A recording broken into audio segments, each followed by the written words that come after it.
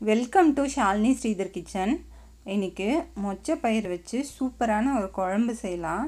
இந்த குழம்பு ரொம்ப சிம்பிள் தான் செய்கிறது ஆனால் டேஸ்ட் வந்து ரொம்ப அட்டகாசமாக இருக்கும். இப்போது இதை எப்படி செய்யுதுன்னு பார்க்கலாம். நான் வந்து முக்கால் கப் சின்ன கப்பில் துவரம்பருப்பு எடுத்து ஒரு ரெண்டு மூணு வாட்டி அலசிட்டு ஒரு இருபது நிமிஷம் ஊற வச்சு ஒன்றரை கப் தண்ணி சேர்த்துருக்கேன். அடுத்து ஒரு சின்ன கப்பில் வச்சு மொச்சப்பயிர் வந்து ஒரு கப் நைட்டே ஊற வச்சு எடுத்து வச்சுருக்கேன். அதில் ஒரு கப் தண்ணி சேர்த்து மூடிக்கிறேன்.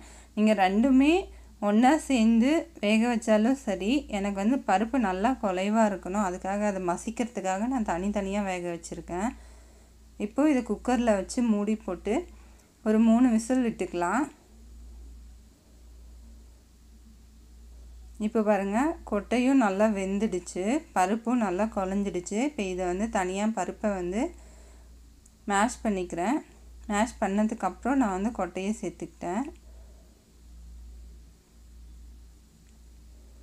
இப்போது இந்த கன்சிஸ்டன்சியில் இருக்குது நான் ஒரு சின்ன நெல்லிக்காய் சைஸ் அளவு புளி இதில் சேர்த்துக்கலாம். சேர்த்துட்டு அதை வந்து தேவையான அளவு தண்ணி சேர்த்து பாயில் பண்ண விடுங்க. அப்போ நம்ம தாளிச்சுப்போம். ஒரு பாத்திரத்தில்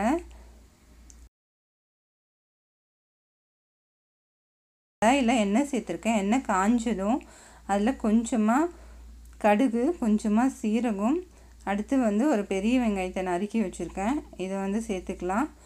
மூணு காஞ்ச மிளகாய் சேர்த்துக்கிறேன். அடுத்து ஒரு நாலஞ்சு பல் பூண்டையும் சேர்த்துக்கலாம். நான் வந்து ஒரு பழுத்த பெரிய தக்காளியை சேர்த்து அதையும் ஃப்ரை பண்ணிக்கிறேன். உங்ககிட்ட கத்திரிக்காய் இருந்தால் அதை சேர்த்து இந்த நேரத்தில் வதக்கிக்கோங்க. கத்திரிக்காய் வந்து இதோட சேர்த்தும் போது நல்லா டேஸ்ட்டாக இருக்கும். எங்கிட்ட கத்திரிக்காய் இல்லாததுனால நான் வெறுமனே செஞ்சுக்கிறேன். இப்போது தக்காளி வதங்கிறதுக்காக கொஞ்சம் உப்பு சேர்த்துட்டேன். அடுத்து ஒரு ஸ்பூன் தனியா அடுத்து கொஞ்சமாக குழம்பு மிளகாய் தூள் சேர்த்துருக்கேன் ஒரு ஸ்பூன் அப்புறம் கால் ஸ்பூன் மஞ்சப்பொடி சேர்த்துட்டு எல்லாத்தையும் நல்லா கலந்து விட்டுக்கலாம்.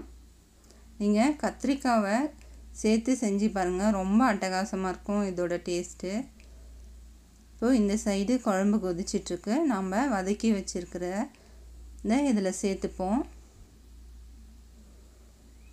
சேர்த்துட்டு இதை கலந்து விட்டுக்கோங்க. இந்த பருப்பில் மொச்சப்பயிறு போட்டு குழம்பு வச்சு பாருங்கள் ரொம்ப டேஸ்ட்டாக இருக்கும். இப்போது இதில் வந்து பெருங்காய பொடி சேர்த்துக்கலாம். சேர்த்து ஒரு கொதி விட்டுட்டு நான் வந்து சும்மா ஒரு கால் ஸ்பூன் அளவு வெல்லம் சேர்த்துருக்கேன் வெல்லம் வந்து உங்கள் ஆப்ஷனல் எங்களுக்கு கொஞ்சம் ஸ்வீட்டாக இருந்தால் நான் பிடிக்கும். அடுத்து தேவையான அளவு கொத்தமல்லி தூவி இறக்கிக்கலாம். ரொம்ப சூப்பராக இந்த குழம்பு வந்திருக்கு. நீங்களும் இதை செஞ்சு ட்ரை பண்ணி பாருங்கள் கண்டிப்பாக பிடிக்கும். பிடிச்சிருந்தா இந்த சேனலை லைக் பண்ணுங்கள் ஷேர் பண்ணுங்கள் கமெண்ட் பண்ணுங்கள் மறக்காமல் இந்த சேனலை சப்ஸ்கிரைப் பண்ணுங்கள் பக்கத்தில் இருக்க பெல் பட்டனையும் கிளிக் பண்ணுங்கள் தேங்க்ஸ் ஃபார் வாட்சிங்